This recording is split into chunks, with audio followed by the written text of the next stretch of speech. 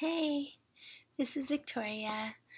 Um, here, I'm here at the Art Farm Nebraska, and I've been working on a project called Jubilee, and it is starts as a story that I've been writing for a while now, um, but I brought it here with me to make uh, customized copies, um, dressed up in what I call zine wear, which is kind of like book jackets but more femme.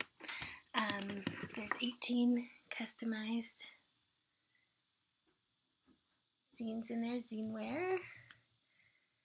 Behind me, you can get a little peek. Um, I'm about to take them up into a treehouse here on the farm and show them to you each individually and then redo the story. But I wanted to show you where the magic happens.